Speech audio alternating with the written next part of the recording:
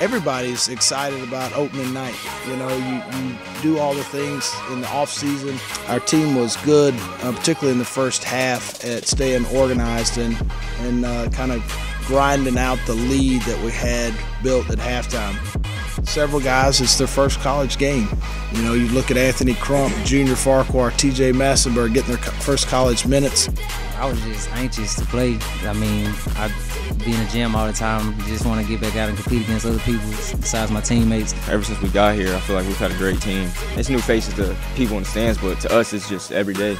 We just go at it every day and we just try to work hard and be better. As far as the you know the potential, uh, still really early, but I, I do like how uh, when we're moving the ball, what it looks like, uh, what our team looks like, particularly on the offensive end. If we've prepared, then now it's time to, to go show what we've got.